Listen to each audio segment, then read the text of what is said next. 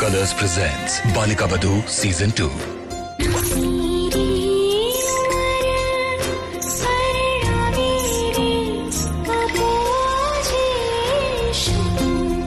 बाल विवाह।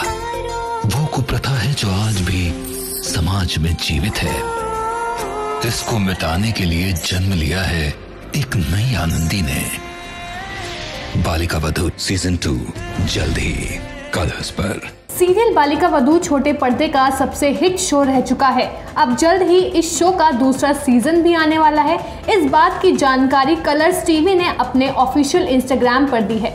हालाँकि ये शो टीवी पर टेलीकास्ट कब होगा, इसका खुलासा अभी नहीं हुआ है। मगर इस शो की एक छोटी सी झलक फैंस के लिए साझा कर दी गई है, जिसमें एक बार फिर से बाल विवाह जैसी कुप्रथा को जड़ से मिटाने के लिए आवाज़ उठाते दिखाया जाएगा।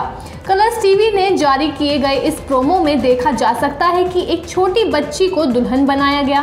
पहले वो बच्ची अपने हाथों में सजे चूड़ी और मेहंदी को निहारती है मगर बाद में अपने दुल्हन वाले दुपट्टे को पकड़ उसे पंख बना खुले आसमान के नीचे भागती है।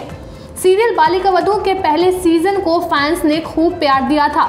इसी को देखते हुए शो के दूसरे सीज़न को लाया गया है, जिसमें मुख्य किरदार का नाम फिर से आनंदी ही होगा। मगर इस बार वो बाल विवाह के खिलाफ आवाज़ उठाएगी। बालिका वधु टू में छोटी आनंदी का किरदार निभाएँगी श्रेया पटेल।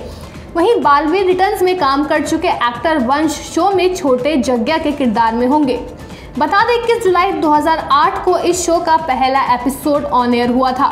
आठ सालों तक लोगों के दिलों पर राज करने के बाद सीरियल साल 2016 में ऑफ़ एयर हो गया था।